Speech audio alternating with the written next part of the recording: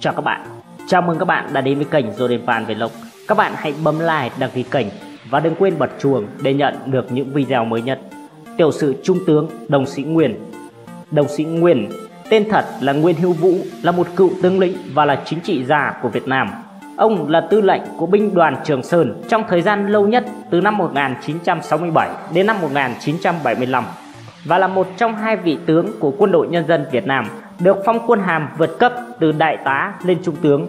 Ông cũng từng giữ chức vụ Phó Chủ tịch Hội đồng Bộ trưởng kiêm Bộ trưởng Bộ Giao thông Vận tải, đặc phái viên chính phủ, đặc trách chương trình 327 về bảo vệ và phát triển rừng phòng hộ và rừng đặc dụng, cố vấn đặc biệt của Thủ tướng Chính phủ, tham gia vào ban chỉ đạo nhà nước về quốc lộ Hồ Chí Minh, quốc lộ Trường Sơn. Đồng sĩ Nguyên, tên thật là Nguyễn Hữu Vũ, sinh vào ngày 1 tháng 3 năm 1923 tại làng Trung Thôn, xã Quảng Trung, phụ Quảng Trạch, Quảng Bình. Xuất thân trong một gia đình trung lưu, song thân ông là Nguyễn Hữu Khoái và bà Đặng Thị Cấp đều là những hậu duệ của thủ lĩnh phong trào Cần Vương. Ông là con thứ năm trong gia đình. Cha ông mất sớm khi ông mới 10 tuổi. Thuở nhỏ, ông được cha dạy chữ Hán và theo học chữ quốc ngữ bậc tiểu học tại Thọ Linh, nay thuộc xã Quảng Sơn, huyện Quảng Trạch. Chịu ảnh hưởng của gia đình, ông sớm đã có tinh thần chống thực dân Pháp. Năm 12 tuổi, ông bắt đầu tham gia hoạt động cách mạng dưới sự hướng dẫn của ông Nguyễn Văn Huyền, bí danh là Tế, một cán bộ của Đảng Cộng sản Đông Dương. Năm 1938, ông gia nhập Đảng Cộng sản Đăng Dương, lấy bí danh là Nguyễn Văn Đồng. Năm 1940, ông được cử làm bí thư chi bộ Trung thôn mật danh là chi bộ Bình. Cùng năm này, ông theo học bậc trung học tại trường San Maria ở thị xã Đồng Hới.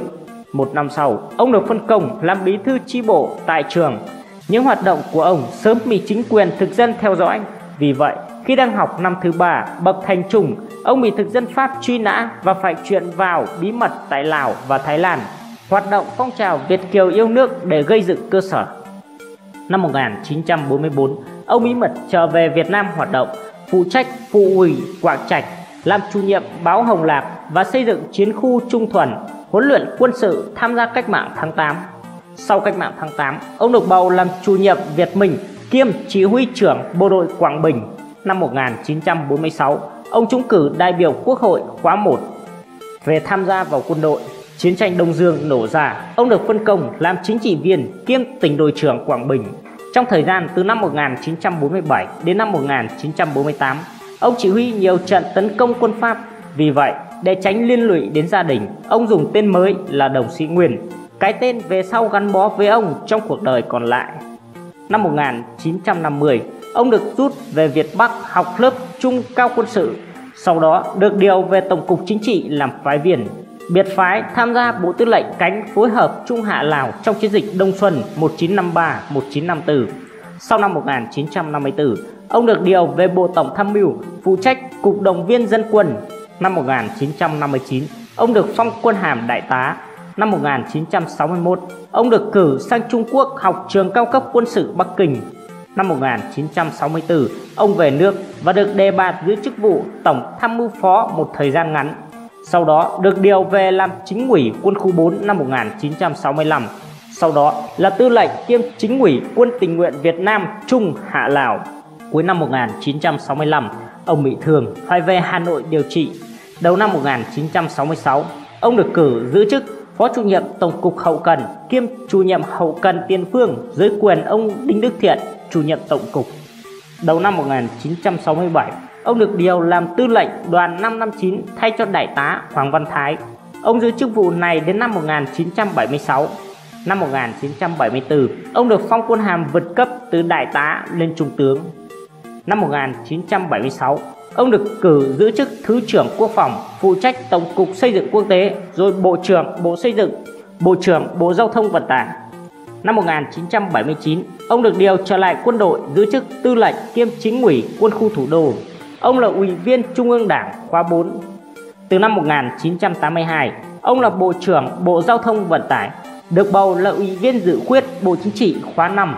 Ủy viên chính thức Bộ Chính trị, Ban chấp hành Trung ương Đảng Cộng sản Việt Nam khóa 6 năm 1986 đến năm 1991, Phó Chủ tịch Hội đồng Bộ trưởng. Sau khi thôi giữ chức Bộ trưởng, ông được giao nhiệm vụ đặc phái viên chính phủ, đặc trách chương trình 327 về bảo vệ và phát triển rừng phòng hộ và rừng đặc dụng, rồi là cố vấn đặc biệt của Thủ tướng Chính phủ tham gia chỉ đạo nhà nước về quốc lộ Hồ Chí Minh, quốc lộ Trường Sơn. Cùng với các tướng Đinh Đức Thiện, Phan Trọng Tuệ, Đồng Sĩ Nguyên là một trong những người có vai trò quan trọng trong việc xây dựng đường mòn Hồ Chí Minh trong thời kỳ chiến tranh Việt Nam, đưa con đường vận chuyển chiến lược này thành một trong những mấu chốt thành bại trong chiến tranh.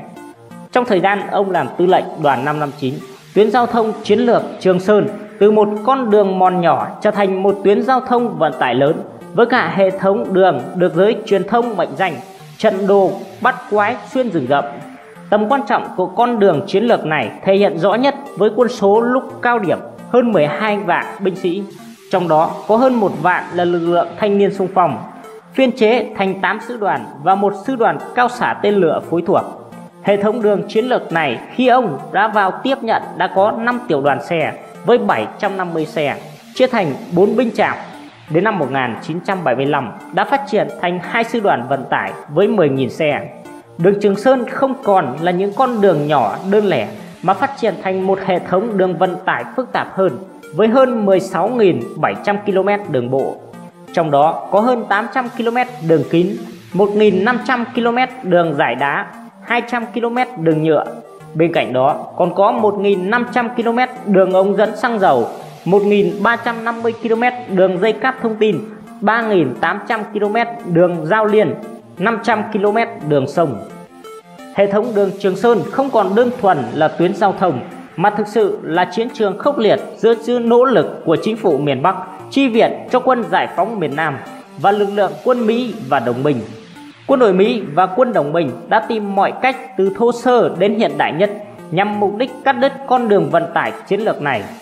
Các khí tài từ những khí tài điện tử lập thành hàng rào điện tử Marsnama cây nhiệt đới, pháo đài bay B-52, vũ khí thời tiết, hóa học đến các cuộc hành quân càn quét lớn, biệt kích, phá hoại đều được quân Mỹ sử dụng. Kết quả là phía quân đội nhân dân Việt Nam có gần 2 vạn người chết ngay trên tuyến đường này và 3 vạn người bị thương tật vĩnh viễn, nhưng tuyến đường vẫn hoạt động.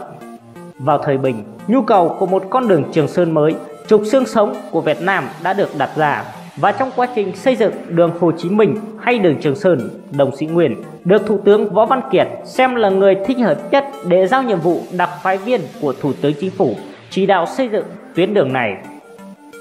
Do lâm bệnh và tuổi cao sức yếu, Trung tướng Đồng Sĩ Nguyên đã từ trần vào hồi 11 giờ 42 phút ngày 4 tháng 4 năm 2019 tại Bệnh viện Trung ương Quân đội 108 về tặng thưởng huân chương sao vàng 2007 Nguy hiệu 80 năm tuổi đảng Về gia đình, cha của ông là cụ Nguyễn Hữu Khoán sinh năm không rõ mất năm 1933 là cháu nội của Nguyễn Trọng Đạp một chỉ huy cần vương bị Pháp xử bắn ở cửa danh Quảng Trạch, Quảng Bình.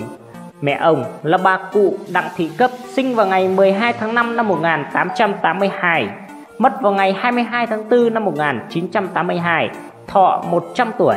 Chồng mất sớm, bà nuôi dạy 7 người con, 5 trai, 2 gái. Nên cả 5 người con trai đều tham gia cách mạng.